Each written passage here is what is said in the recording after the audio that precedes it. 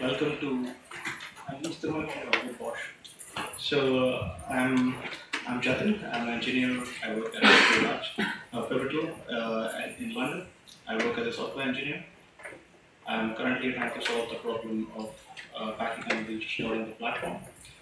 But today I'm here to talk about something else. Uh, I'm here to talk about the problem of deploying a software across multiple cloud providers. Uh, what do I mean by that? So deploying or making a deployment in which one component is on a cloud provider like AWS and another component is on another, another cloud provider like vSphere.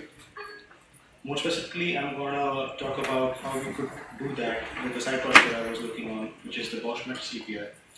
So this is this plugs into the CPI interface for BOSH to essentially enable you to do multi-cloud deployments. So the goal of this talk is to highlight the possibilities of multi-cloud deployments um, and how it could be achieved using this project and BOSH. So yeah, so this, this talk is divided into four unequal parts. We are going to look at BOSH for a while uh, and look at see how the CPI interface works. After that, uh, we're going to talk, like I'm going to introduce a meta CPI project and how that works.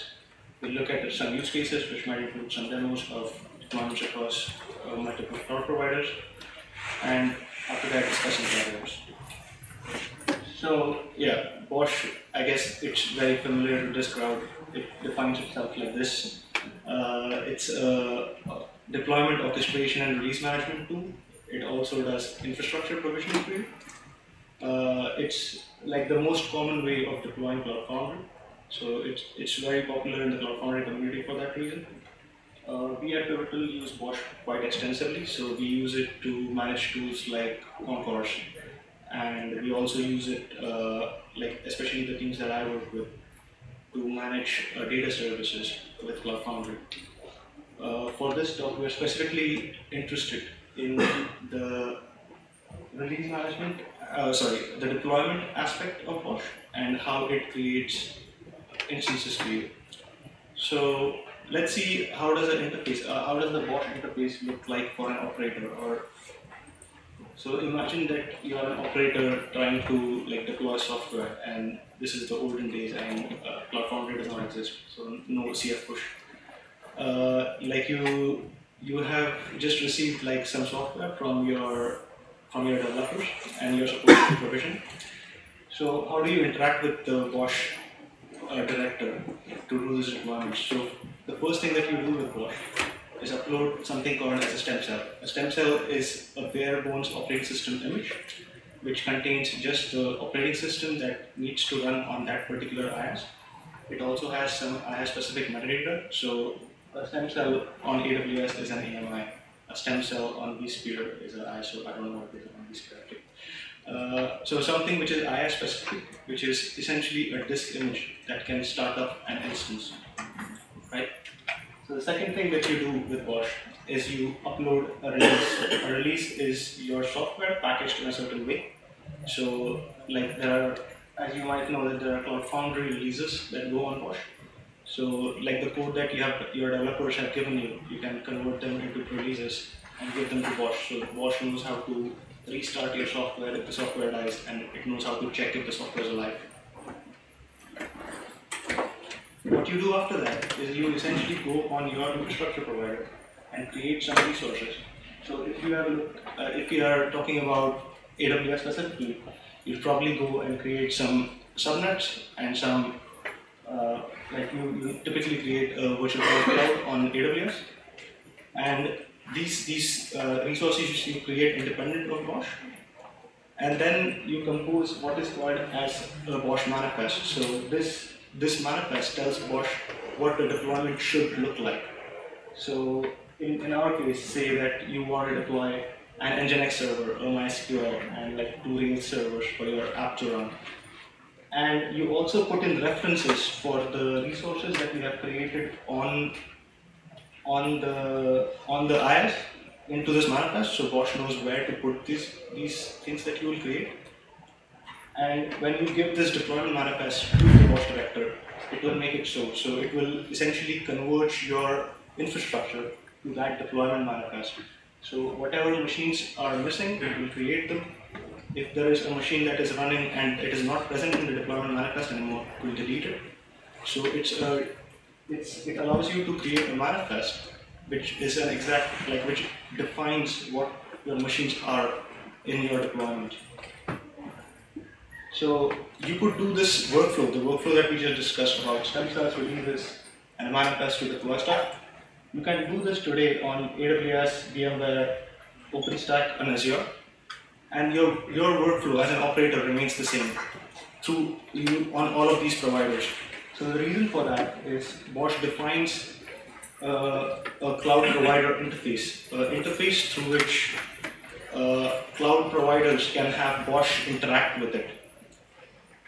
So this is what the interface is essentially. This is the interface. So these are 18 odd methods that are defined that translate uh, BOSH specific calls into IaaS specific calls. So this implementation wise, this is implemented as a command line binary and this is put on the same box or the same machine on which BOSH is running. And uh, so this, this, uh, these methods essentially create resources on your cloud and give back identifiers to BOSH to track those resources. Uh, you mentioned that you have to set up your VPC, your subnets, and so on by hand, manually, uh, uh, beforehand. Why is that? Why uh, does the manifest uh, um, uh, allow you to specify those resources as well? Is there a reason for that? No, like so. This is the I'm describing the current state of the world, right? Like so, I'm I don't know the historical reason why exactly it is like that. So you could have, uh, like if you enhance the interface to even have create VPCs, could probably do that, but probably there is no unified interface across IaaS providers. That's why there is none. I don't know this answer. Okay. So, alright, so the the CPI is has like like 18 methods that I was saying and it, it returns cloud identifiers to uh, for BOSH to track the task, uh, track the resources that it creates. So let's look at the flow on how the BOSH director interacts with your cloud on say AWS. So if you like, we will just go through the operator flow again. So the first thing that you do is create a stem cell. So when you say create stem cell to the AWS CPI, which is a CPI primitive on the uh, on the which is CPI primitive, this AWS CPI is now responsible for translating this create stem cell call into an equivalent call on AWS. So the AWS CPI does a lot of things internally, and the last call that it invokes is the create volume call, the create volume API call on AWS, which will create essentially an uh, AMI. So the AWS then returns it uh, AMI ID, which it then passes on to BOSH and so whenever BOSH wants to create a new resource with that AMI or create a new instance, it will essentially refer to that image using that cloud identifier it got from the AWS API last time. For example, now you want to actually create a VM, so use the create VM CPI primitive. BOSH uses the create VM CPI primitive, which then gets translated into AWS specific, specific API, which happens to be run instance with that with that uh, AMI ID. So it will essentially start an instance on that image. So as you can imagine, then it, the AWS API then returns uh, identifier which tracks that instance after it has started it. So whenever the BOSH director wants to say tag that instance or kill that instance, it will use that identifier. So currently, only one of these cloud providers can be specified with BOSH, uh, the way that people do multi-cloud deployments today with, for stuff like Cloud Foundry, essentially they have two separate BOSH directors on each of the IaaSes. So you have an AWS IaaS and an Azure IaaS, and you have two separate directors, and you compose two separate manifests, and then you manually converge them by yourself. Like so, you push to this director, and then you push to that director. And so, what if you wanted only one BOSH director to manage multiple cloud providers? Well, this is the right talk. Uh, introducing uh, the Meta CPI. So Meta CPI is uh, a concept project that I was working on on the side. So this allows you to deploy multiple cloud provider interfaces on the same director. And then the Meta CPI essentially acts as a router between those uh, cloud provider interfaces so that it can translate the, uh, the CPI calls like we saw to multiple cloud providers. So it does this by two, two main things. So it does this by inspecting the stem cell metadata to figure out which cloud provider the stem cell is for. And it works by tracking the cloud ID that it gets from the API so it can route it uh, back to the right place. So let's take an example of that. So this is our setup now. So before there was just the BOSH director and the CPI and uh, API server. So now this has boiled down to there is a BOSH director, there's this new Meta CPI thing, like multiple CPIs that you want. So we have a AWS CPI and Azure CPI, which then interact with their uh, clouds. Uh, so when you when there is a create stem cell request to the Meta CPI, Meta CPI will inspect the stem cell and understand that uh, that stem cell is for the AWS CPI, for example, because as we mentioned before, C, uh, stem cells are uh, CPI specifics. Uh, they are created for a particular cloud provider. Uh, after that, the AWS CPI will return it, as we saw before, a cloud identifier for that image, which will, this Meta CPI will now record that cloud identifier and know that it had come from AWS and then forward that request again. So for example, we upload a different stem cell. So this time it's uh, Azure stem cell. So this request is forwarded to Azure. Azure returns it a cloud identifier for that stem cell, and that stem cell that is now recorded in the store of the Meta CPI, saying that uh, that stem cell is from Azure. So now subsequently, when we get a create stem cell request for like uh, BOSH will refer to a particular uh, cloud provider, the cloud ID that it got. The Meta CPI will know that it's for a particular cloud from looking at its uh, storage, and it will make that uh, request on a particular uh, on the cloud provider that it got that resource from. So this happens to be AWS. Then the AWS API will, as we saw before, will give it uh, instance ID, which it will track again. So it will keep a track of the instance ID, and all subsequent happen actions that happen on that instance. For example, if there is a tag instance action that happens on that instance, the Meta CPI will know by its lookup table that it should forward that request to the AWS CPI. So this is kind of how it works. All right. So the next section is a bit more intense. So how do you actually uh, configure this in your manifest today? So this is oh, this is how uh, a BOSH director's manifest really redacted looks like today. So as you can imagine, what you deploy the BOSH director by? Another BOSH. Uh, so you have the BOSH release, and today you put in co-locate the AWS CPI release, and then you tell the director that the CPI that you want to use to provision machines is the AWS CPI. So this is how it looks like today. In the Meta CPI's case, you will essentially deploy the BOSH director deploy the other CPIs that you want, and deploy the meta CPI. Tell the director that you would actually like to point to the meta CPI. And in the meta CPI's properties, you can tell the meta CPI about all the available CPIs on that machine. So you could give the paths of different cloud provider interfaces that exist that you have deployed on the same machine. So how does a job definition look like? Uh, so this is a job definition in your deployment that you are trying to make. So we have already look, looked at how the YAML looks like for the BOSH director itself. So how can you configure the uh, the deployments that you're going to do on the Meta director?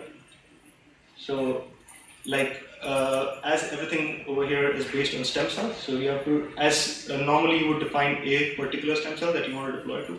Now you would define multiple stem cells and when you define a job, you the stem cell determines which which infrastructure it will be deployed to.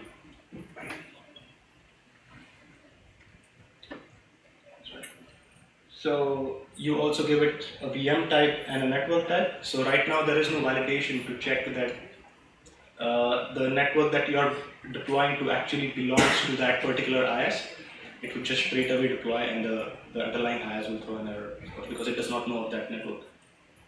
Uh, so the, to help with essentially uh, creating VM types that are applicable across the cloud, uh, across cloud providers, the Meta CPI also supports like what I call meta cloud definitions. So this is what a typical cloud definition look like, uh, looks like today. So there is a VM type which is called a small VM and in the cloud properties you give an instance type of T2 micro. So this is how it life looks like today in BOSH. So you tell a small is essentially a T2 micro and it will be deployed on that AWS, uh, that availability zone. On the Meta CPI what you could do is like the VM type small and in the cloud properties, there is now a meta block in which you specify on Azure, a small looks like a standard A2, and uh, on AWS, a small looks like a T2 micro. so similarly for networks, uh, this is how a typical AWS network will look like in your cloud config today. Uh, so you will have, you'll define AWS network and say that this is a particular subnet that you are targeting, like that that is the subnet that this network refers to. And that those are the IP ranges. Similar to VM types, in the Meta, the Meta CPI also allows like meta blocks for uh, VM uh, networks. So you can say that in Azure, like the network called compilation on Azure should go to Azure VNet, and on AWS should go to subnet ID AFFD, whatever that is. So this is how you can define like define network types and VM types that are applicable across multiple cloud providers. All right, so that's the end of YAML. Good, we have most of the people. Uh, all right, to, to conclude, uh, the MetaCPI uh, is a project uh, which essentially acts as a router between multiple cloud providers. It can deploy them in parallel uh, on a machine and then act essentially as a switch between those. it allows to it reads It also tracks the cloud IDs that come out from uh, those CPIs so that it can route it route the subsequent requests correctly back to the same cloud provider. Uh, and it provides special configuration blocks so that you can configure uh, uh configure VM types which are applicable across cloud providers. Now, use cases. So the most obvious use case, of course, is doing multi-cloud deployments, which means that before you you had like a BOSH director on both the both the sides or both the IaaSes. Now you can have a deployment in which you have only one BOSH director just sitting on either side connect those two VPNs by a tunnel of some sort. You have an AWS instance and an Azure instance, and you load balance it by external load balancer. Yeah. But this VPN is not part of your configuration. You no, not yet. Yeah. Yeah. So just like you do networks currently, you have to do uh, uh, the network, the VPN tunnel. Great. Uh,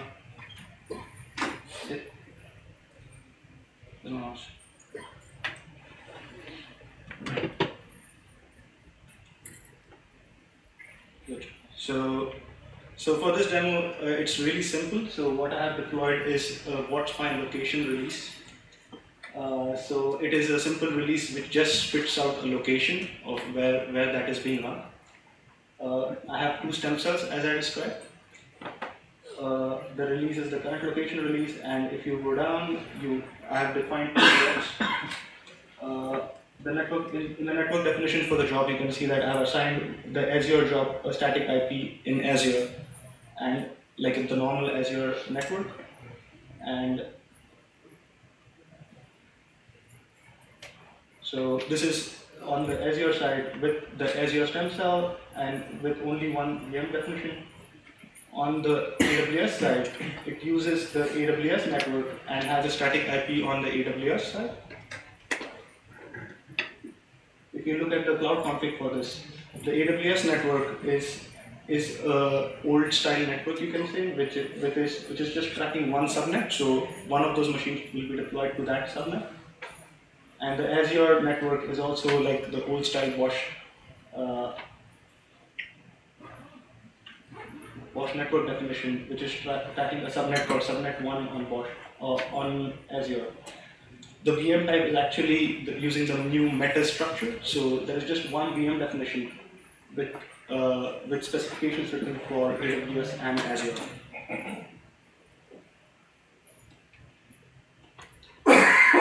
and I actually did not have a load balancer at hand, so I'm just creating a hacky load balancer with Nginx. So I'm essentially putting both those IPs in Nginx so that it will load balance over it.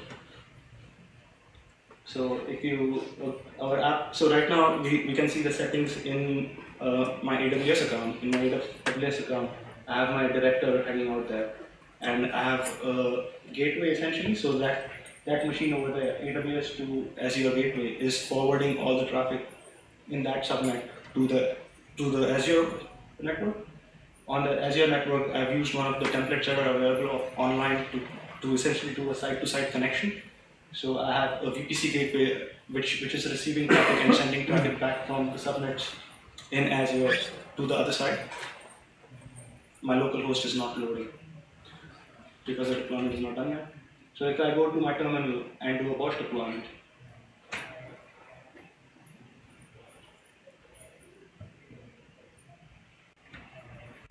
movie magic. Alright, uh, so and if we refresh our AWS console, what we see is a AWS machine is coming up on the AWS side. So this is a machine that is starting up, and on on Azure, if you refresh, you also see a Azure machine being created on the Azure side by the single deployment, a single BOSH deploy.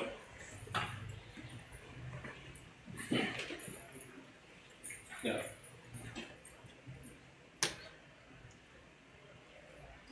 So after four minutes, it will all be done. And if I hit my load balancer, I would have traffic essentially balanced across two uh, cloud providers. So you have the AWS uh, cloud provider with that IP and Dublin, which is no that the first one is actually Azure and Dublin.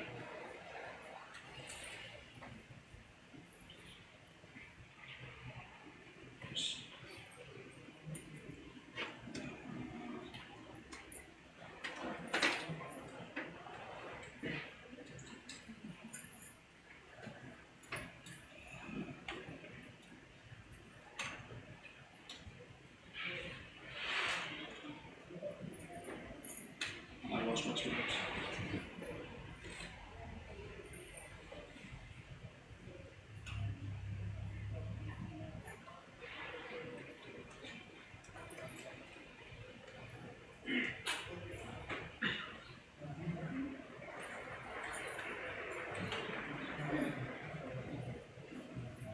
So the other so the other thing that you could do is run errands in garden containers. So currently you when you run errands, which are one-off job uh, tasks, Bosch will essentially start an instance for you and run that code in that instance and delete that instance later.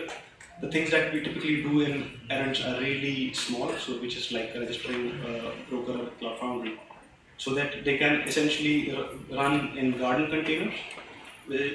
Garden garden is the uh, the the container runtime for Cloud Foundry, which there is a CPI written on top of it, so we can deploy the Garden CPI, the Garden software, and the AWS CPI, and have a deployment which in which some components can run in containers and some component can run on real virtual machines.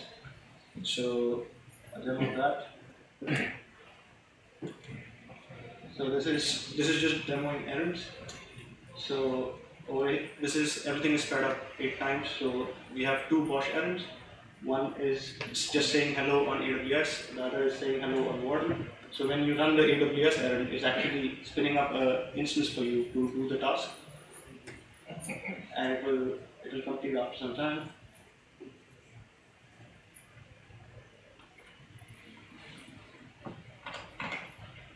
And delete the the instance. So all of these are real states, and like the actual work that was done was essentially done in that one second, which was saying hello.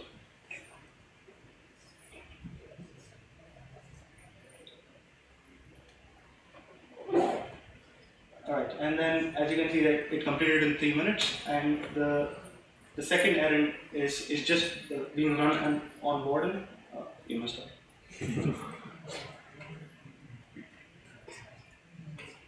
so yeah, that, that was done in 26 seconds. So it just spin up a container, ran the software that it wants to run, and then spun down the container. So uh, containers are really useful for stuff like that.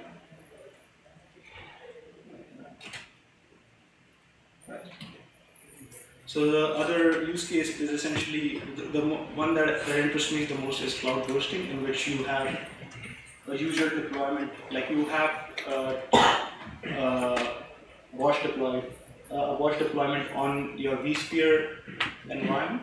Uh, vSphere as it's uh, on your premise, you cannot expand it like a cloud. If you want to burst or if you have some seasonal capacity overheads in which you want more capacity just for that season, you could use a public cloud like Azure. You can connect from your vSphere deployment to Azure and run specific the additional capacity VMs on Azure. There is no demo for that yet. Uh, the other the, other- the other one that interests me is uh, how can you do how can you use specialized hardware on specific IaaS. So AWS has this really insane machines which are like 8x large, which are really nice for like mining bitcoins or doing data science, I know.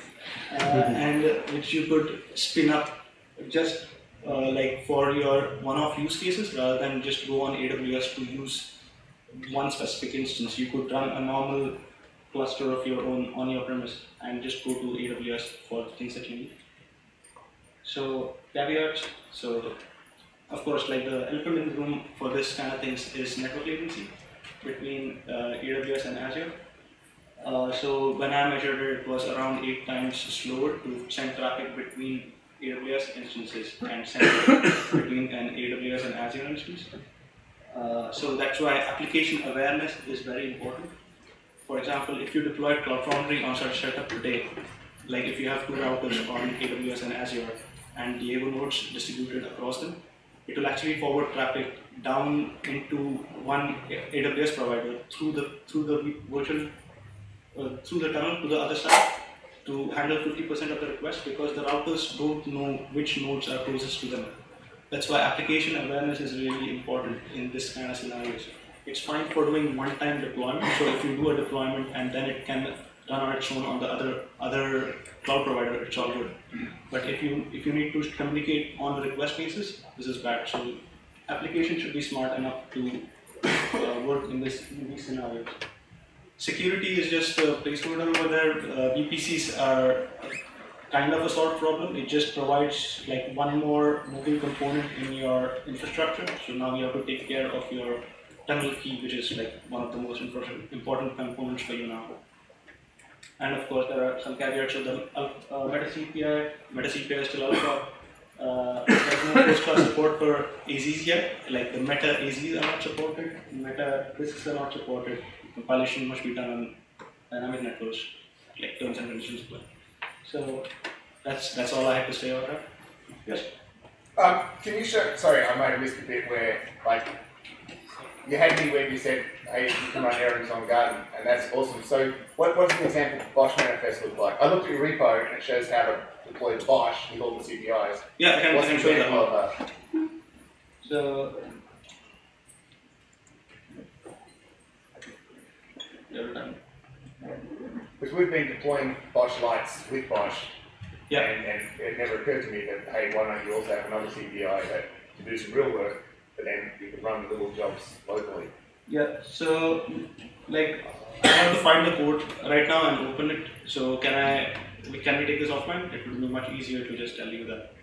Can And you, I will put, it- can you put in the repo? Yeah, yeah, examples. so I will I will add that manifest to the repo as well. Uh, yeah, so the repo lives lives here. If you are interested in this approach, do contribute, and I'm open to taking in contributions for that. If you do any deployments with the, this CPI, uh, like and if you want to put your sample manifest here, I'm also open to that, including mine, I know. Can you give me the gist of it? Like, what do you put in, a, in an error to say which CPI? You just say the, Uh, the stem cell. You say the stem cell network, so you create Oh, okay. CPI. But you just do it on stem cell. So if it's an Yeah. axon stem cell, or, okay. So is there any way to automate the placement of your workloads based on things like monitoring or resource usage or any other kind of metrics? Well, uh, the, the CPI, like not this, I, I feel that is not in the scope of this particular project. So this is really to distribute requests between, like the VM creation requests between your cloud providers. Okay. That is really at a higher level, like, like in which you understand what the application is doing and know, like you want more instances of this application on per site. Yeah, so you have to dynamically build uh, the, Manifest. build the rebuild manifest. What is the future of this work? Is this, this blank being productive? Become a product or it's just a work? Oh, so this is not a product yet, so this is open source, you can use it. But it's a blank to be part of some pivotal project? No, not yet. No, it, it won't be part of the project. Yes. Is that tricks to deploy to multiple OpenStack instances, same stem cells? but Yeah, I've, uh, I have had that question before, especially on AWS as well. No, I, I don't know of a way, a nice way that you could do that. What was the question, sorry? Uh, how could you deploy to multiple OpenStack instances with this? We could, I mean, if we want to play with it, we can come up, we could just cut the stem cells and give them names. to fetch the metadata from the stem cell metadata, right? Yeah. So, so stem cell, like so, stem cell is nothing but a tar GZ. You can open it in your whatever uh, and change the metadata file, but it won't be the one that is published by the BOSH team, right? So it's not ideal. So you can hack around it. Not ideal. We could add like a, well, if we just want to start building on your thing, we could, if we just find the stem cell, perhaps we could add another little piece of data that the meta CPI picked up to sort of help guide. Any other questions? Yes. How is state managed by the um, multiple CPI, the eye tracking? Yeah, so the, the state right now is it just goes in a JSON file, which is locked. So this ideally should go in the database. So it, this can share the database that BOSH uses. And, and you are not intending to, like, how do you do version management? Like, how, how can I get stuff? Like, is there something, if I, if I want to have two stem cells or support two versions of two of the stem cells right now, is that, how is that, how you intend to solve that in the future? So it, that is still possible, right? Like so you can just do that workflow as it is in BOSH. So BOSH already has a, a way to manage stem cell versions. Right. That won't change with this API. This will just know that this particular stem cell is for that provider. Yeah.